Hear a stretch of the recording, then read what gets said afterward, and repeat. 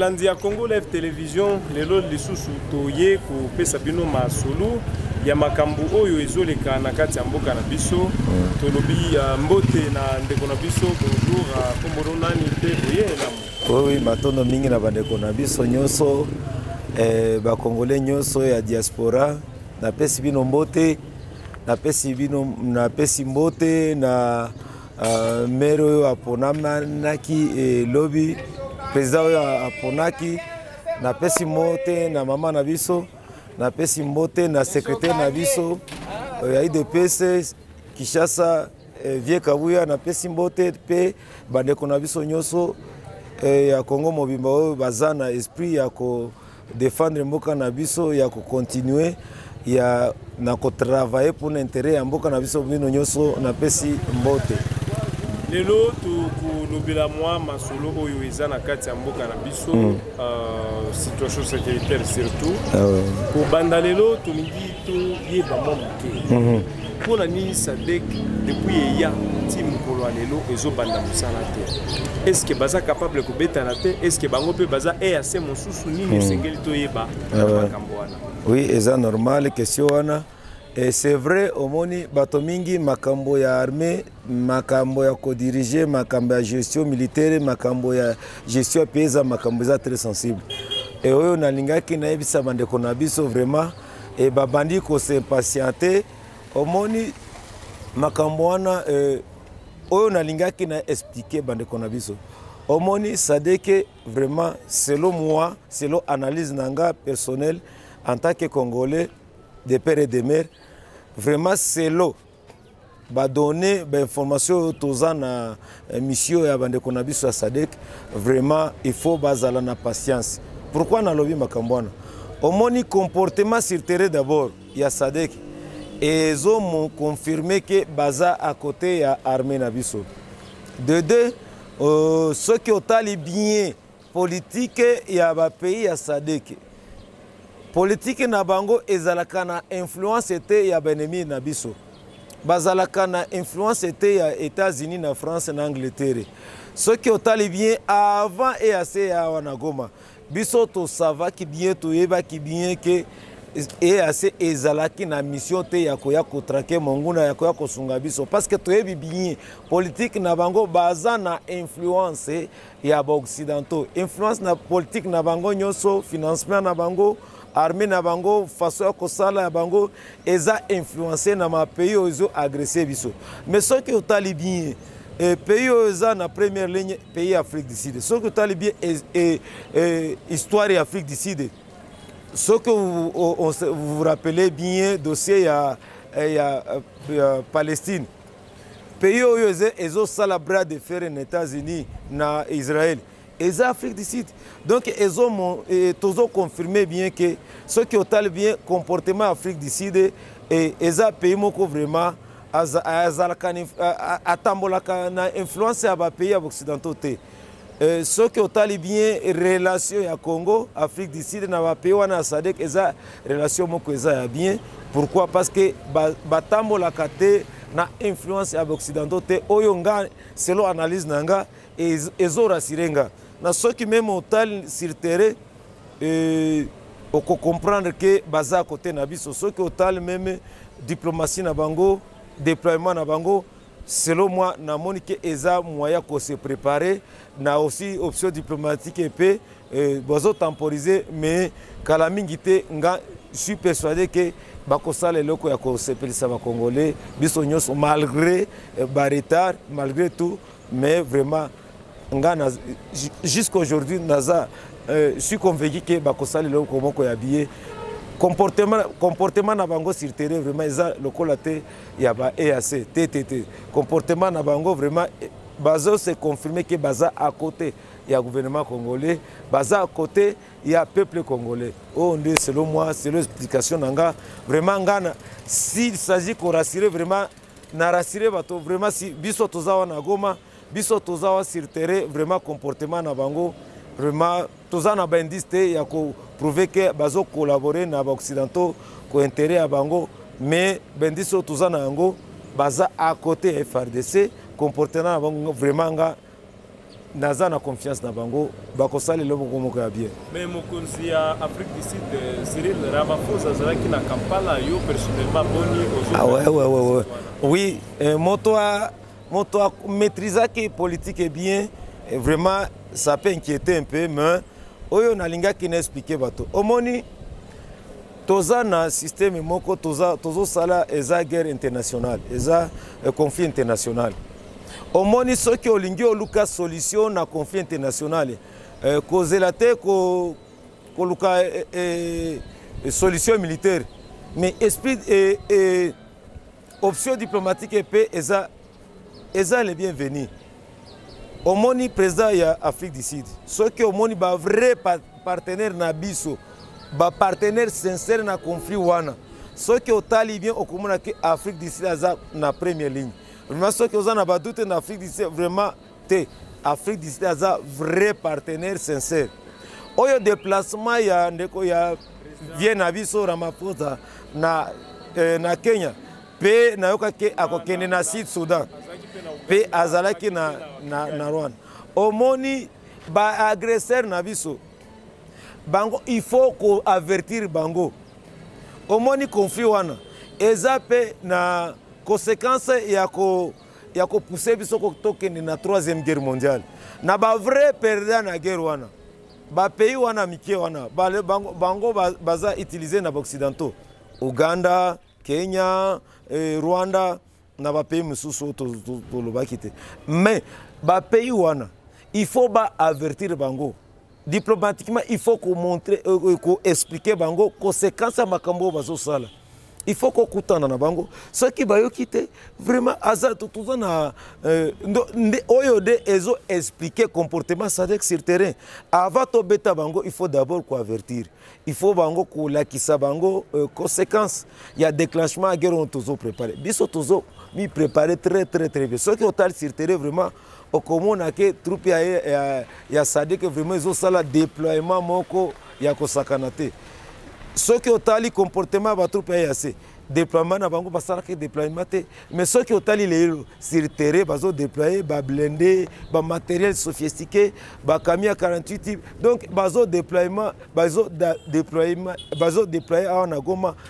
moko ya kosakana te donc nalingi na rasire bandeko na biso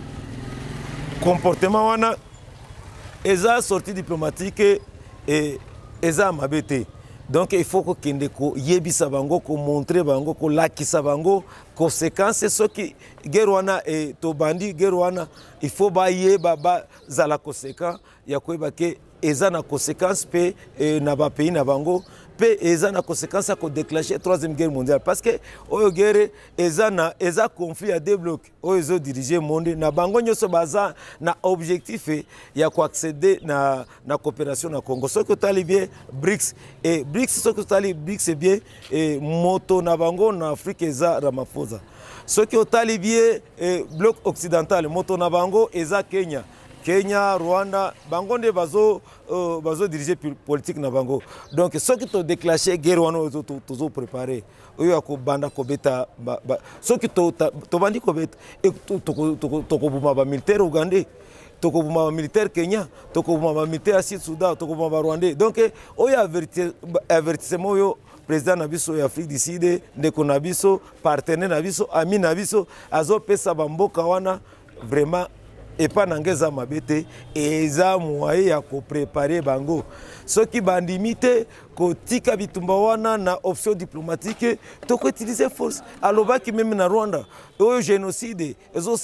ezosalema awa na goma eza, eko, eza ya mabe koleka oyo esalamaki na rwanda mais barwandais babandaki kointerprete makambo na ye na façon moko ya kocree diversion na biso te mais ezalaki message très, très clair eoyo alingaki apesa monde entier ezalaki message ya koavertir bango ke bitumba wana soki toti Euh, lokolo na biso na accélérateur eza na conséquence ya kodéclenche troisième guerre mondiale parce que kozala conflit ya bloc ya brics mpe na bloc ya bloc occidental omoni meme soki bozolanda bien conflit wana ya, ya palestine israel oyo ebandi koapparaître ko, ko, ko, eh, eh, conflit wana ebandi ko, ko, ko, ko,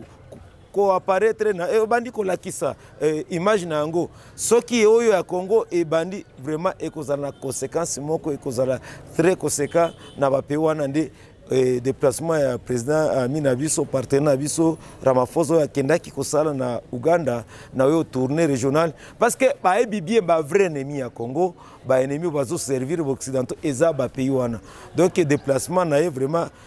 pour moi il est le bienvenu parce que eh, eh, azoluka solution diplomatique na boyebi bien na chaque conflit il faut d'abord koprivilégie option diplomatique soki option diplomatique etamboli bien te ndo bato bato eh, eh, baza na na oyo baza na droit ya kokurir na option militaire mais oyo azosala pour moi il est le bien eh, décision wana soki bakozwa compromis ya bien Ça va kolobela diplomatique parce que tozolobela diplomatie oyo mm. ezosalema mm. diplomatie lelo ya rdc bato ebele bazoloba eke félix antoine tshisekedi a échoué diplomatie na ye ezosimba te parce que depuis ya banda ata fruit moko te ezomona mhm. est ce que eza vrai diplomatie ya mokonzi félix antoine tshisekedi ya monsieur félix antoine tshisekedi tshilombo mhm. ezosimba te esi échoué vraiment eza eh, moto ya moko ya bien eh, nalingaki na repondre bato wana bazo ba, soki soki un vrai congolais alobi ke diplomatie ya félix ezotambola bien moto wana eh, il paraît moto wana aza na congo te moto wana aza na planète terre te parce que eh, soki okende lelo na france otuna macro est ce que félix diplomatie na ye ezotambola bien Mako akoyebisa ke moto wana vraiment ah, diplomatie na ye eza diplomatie ya makasi soki otuni lelo oke kotuna lelo biden akoyebisa ye akoyebisa yo ke diplomatie ya moto wana vraiment ebandi kotrouble biso tobanzaki ke bino mindele nde toyebi kosala guerre diplomatique mais lelo tobandi kocomprendre ke baafricain baza na makoki koleka biso ya kosala diplomatie tika na explike yo moke omoni tobandaki guerre diplomatique wana ya, ya, ya guerre wana na option uh, ya ko ling, omoni M23 bayaki na casquette ya ko convaincre monde ke eza groupe armé ya ba congolais ba congolais frustré mais diplomatie e, e évoluer bien ebandi kolakisa monde entier ke eza ba congolais te eza groupe armé ya ba rwandais et dirigé ya ba occidentaux na ba rwandais na union européenne mais dirigé par kagame oyo babandi kokondane même si basanctionnaki bazosanctionne te mais kokondane ezoconfirme ke biso makambo oyo tozofinga bango eh, tozoloba epai na bango tozoakize bango eza lokuta te oyo eza diplomatie nde tozosala euh, problème euh, na diplomatie mosusu soki otali bien président na biso félix antoine tshisekedi aexcedaki na pouvoir tozalaki na problème ya nini ya, uh, ya embargo mais diplomatie na biso esi oleve embargo wana Euh, option mosusu ya diplomatie diplomatie ya président soki otali bien tozalaki na probleme ya nations unis monisco baboyaki kozonga epai na bango bazalaki na carte cache e, bazalaki na objectif mission ya kosala 50 ans na congo melo diplomatie agissante ya chef lelo bandimi kokende babandi kokende boza batemwe okileri soki oza na congo te biso toza wana na goma bukavu to batroupe na bango ebandi kozonga baconteja ya chine babandi kokende bazozonga epa na bango e, option mosusu arme na biso oyebi eh, meme ko former armée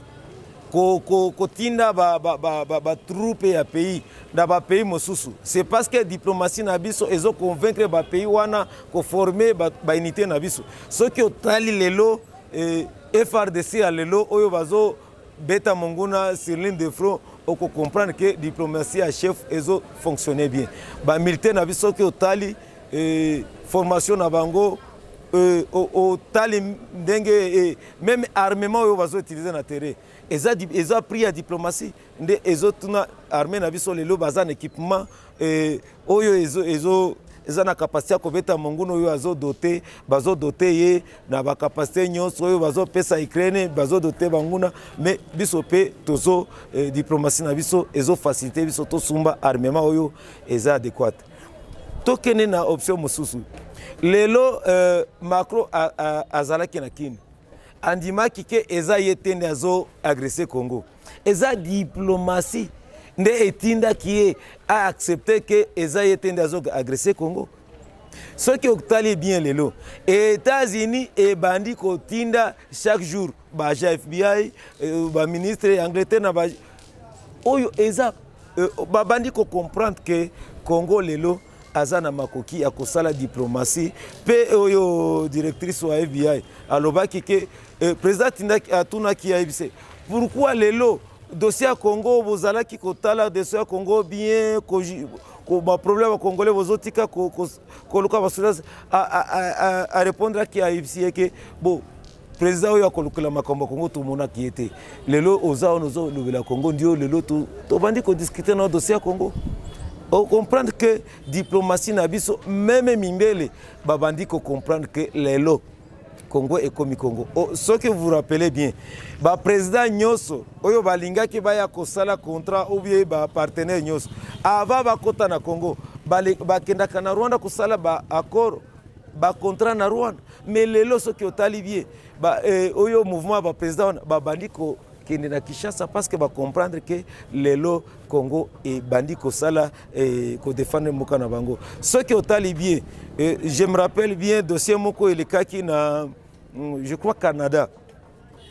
euh, nani ezalaki dossier ya biodiversité tokutaki kuna rwanda batia yango na comité préparatoire batiaki rwanda indonésie na brésil mais kuna tosalaki diplomatie moko ya kosakana te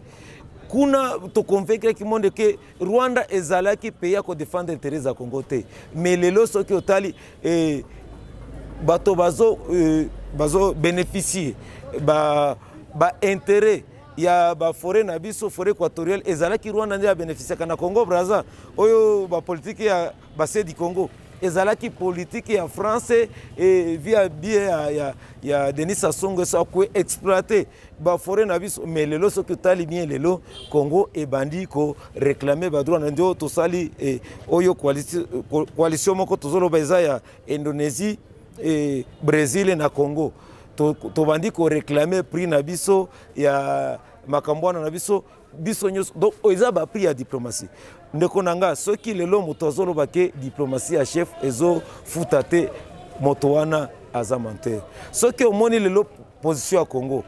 congo lelo abandi koloba Euh, meme na siège ya nations unis bato nyonso bazo comprendre que um, congo eza mboka monene to biso congo toza na vocation ya grande puissance omoni eh,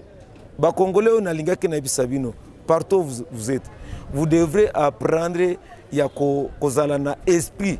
ya comprendre kaka toza mboka monene ko réfléchir na biso faut to réfléchir na esprit wana donc euh, balingaki balakisa biso ke toza mboka moke euh, azalaka na influence na monte te il faut tobanda koréfléchir en fonction ya makambo wana congo toza na vocation ya kozala puissance parce que omoni lelo soki otali bie politique ya monde euh, monde badécision na bango nyonso ezosalema ezosalema na pocentualité za congo ozomona soki baoyo baagitation soki otali bie bacop 27 28 makambo na bango ezotourne na pourcentualité oyo toza na yango soki otali problème ya telefone na makambo na yango soki lelo congo aboyi koexploite minere na bango baizine nyonso ya telefone ekokangama mais soki lelo aboyi congo aboyi ko ko, ko, euh, ko, euh, matière na biso toboyi kotia yango na marché mondial meme euh, casteri te koba te donc matière na biso omoni marché nyonso ya telefone ekokangamana donc nalingaki naloba nini bandeko na biso vous devrez apprendre à connaître que notre pays toza na vocation ya grande puissance Merci. si donc lelo esengeli toyeba donc ah, na baye oyo bazolanda biso esengeli bayeba lelo ke quelque soit l'état oyo ekozwa pour ke bitumba esila mais faveur ekozala ya bacongolais oui faveur ekozalaka ekozala ya kote na biso parce que eh, omoni poutine aza eh, russie eza pays puissant mais omoni eh, guerre na, na ye na ya biso tokomi na deux ans peye deux ans malgré ça euh, il faut tozala na patience malgré tout malgré batuerie ennemi alingi acree diversion ya koboma bato na ville na biso balingaki bacreye euh, oyo tozoloba divorce entre armée na biso na euh, na ba civil vraiment ko céder te na chantage wana eza plat ya ba idiot na biso ba ba idiot wana ba nanga na bande kona bango ba rwandais ba occidentaux eza plat na bango ko céder te vraiment on a linga kena loba il faut tout euh, ba autorité même civil que militaire il faut vraiment tout vraiment to utiliser force capacité oyo nzambe apesaki biso mais biso toza na, maka, na makasi na makoki ya kocontribue kopesa bino bapiste ya solution ya kozwa meme soli kostabilize ville ya goma na moins ya une semaine toza na bacapacité mais malgré tout bon il faut vraiment euh, totia makasi na biso euh, ensemble totala ndenge ya kostabilize ville na biso eza stratégie ya monguna eza, eza eh, eh, faiblesse te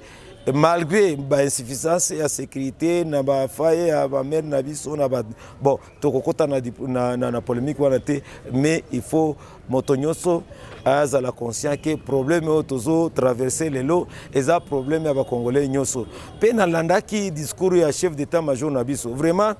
soki oyoki bien discours ya chef d'état major okocomprendre ke aza déterminé mais euh, oyo badiscours te il faut uh, alandela dossier sur terrain vraiment discours wana na réalité sur terrain vraiment ekokani te il faut badiscours wana ezala ma, eh, mariage na réalité sur terrain vo ya bwari ya magie na, na, na, na armée na biso il faut ye nde asinspire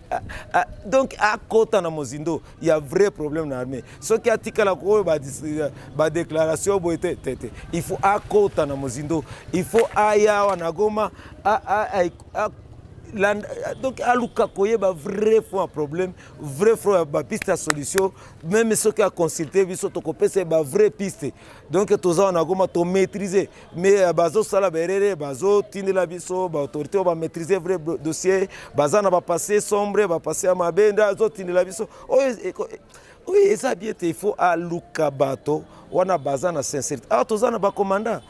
ba colonel baza na objectif ya ko aider mboka baza ba dispo ba, ba, ba babundaki na, na mamadu baza wana koma toyebi bango mais pourquoi bazotika bango bazotindela biso bato moko baza na position ambigi vraiment chef d'état major vraiment oyo eza recommandation na nga vraiment soki oconsulte biso tokopesa bato baza na vrai oza na ba vrai guerrier ba vrai combattant baza wa baza dispo il faut vraiment oluka bango bako aider congo